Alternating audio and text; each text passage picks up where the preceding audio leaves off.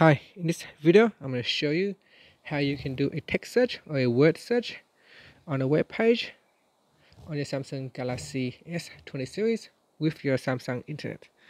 Now first tap on the home key to go back to your home screen and then launch the Samsung Internet browser. Next you want to go to uh, the web page that you want to search for the text. Here I've got the search result page and then what you want to do is go down and tap on the menu key here. Next tap on find on page.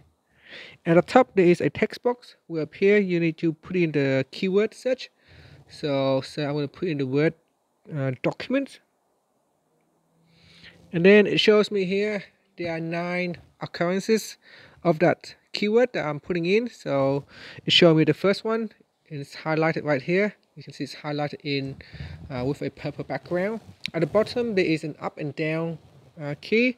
This allows me to navigate to the next search result. So here I can uh, tap on the down key. It will go down to the next keyword in the search. And here is another one. If I continue to uh, tap on the down arrow it will keep going on to the next one.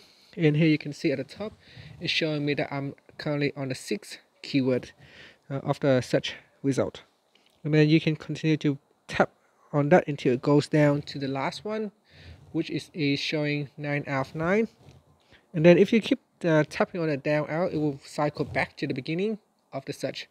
And so that's how you can search for a word or a phrase or a text uh, on a web page uh, with your Samsung internet. And that's it. Thank you for watching this video.